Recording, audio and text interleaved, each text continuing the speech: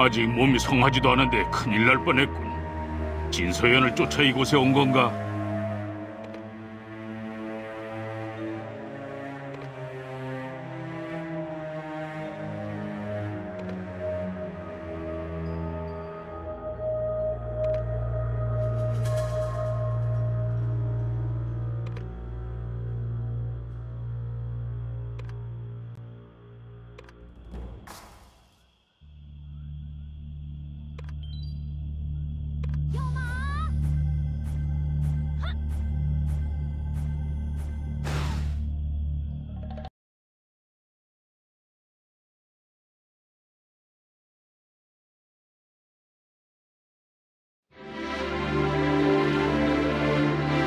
어서 오게.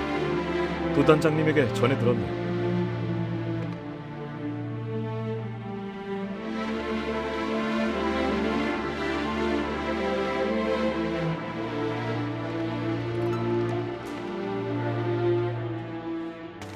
막내야, 네가 이 서신을 받을 때쯤엔 난 지하 갱도의 내부에 있을 거야.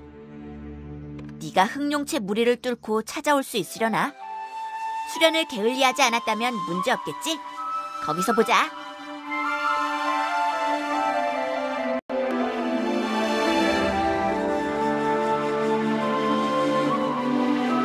좋은 장비를 제작하거나 강화하려면 분해는 반드시 알아두어야 해. 장비 분해를 통해 유용한 아이템들을 획득할 수 있거든.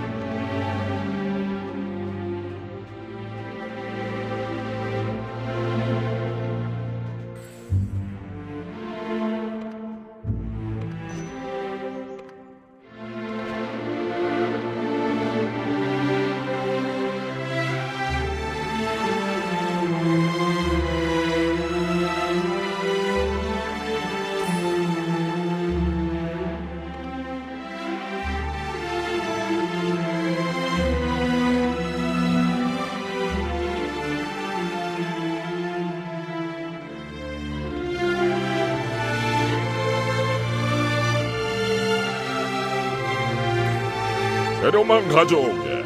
자네 몸을 지키고도 남을 강력한 무기를 만들어 주겠네.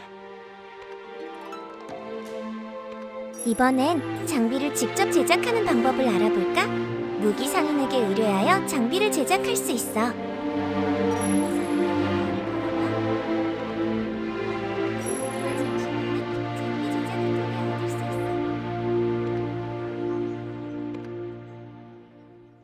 장비 제작에